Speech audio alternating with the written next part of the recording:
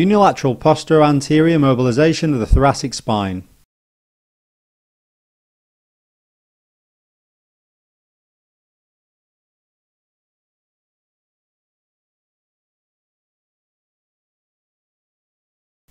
What does the evidence say?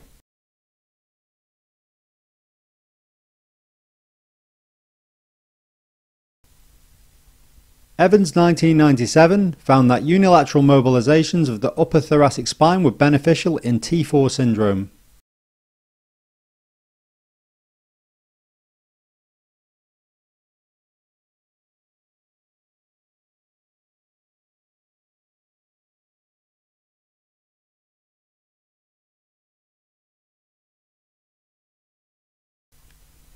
This is a Maitland mobilization technique of the thoracic spine and can be applied to all thoracic levels.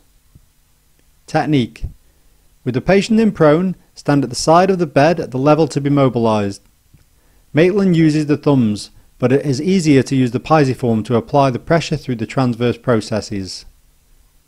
To do this, interlace your fingers palm to dorsal side of the hand for extra reinforcement Place the pisiform of the underside hand onto the transverse process and push in a posteroanterior direction over the transverse process.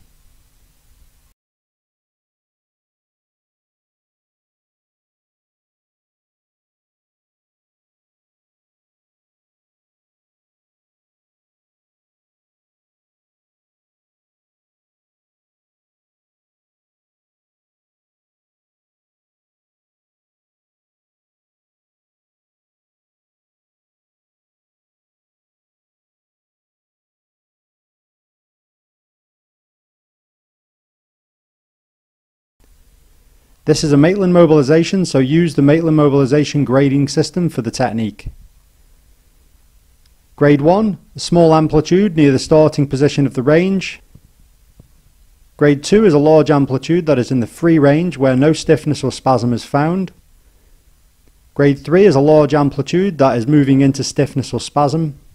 A grade 4 is a small amplitude stretching into stiffness or spasm at the end of the range position.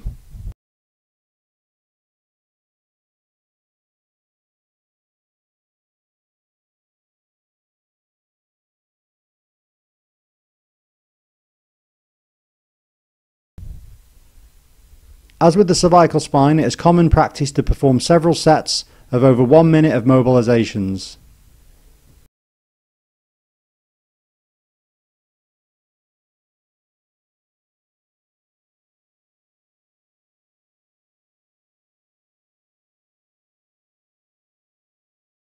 Here is the technique again, but on a model spine to show you what to feel for.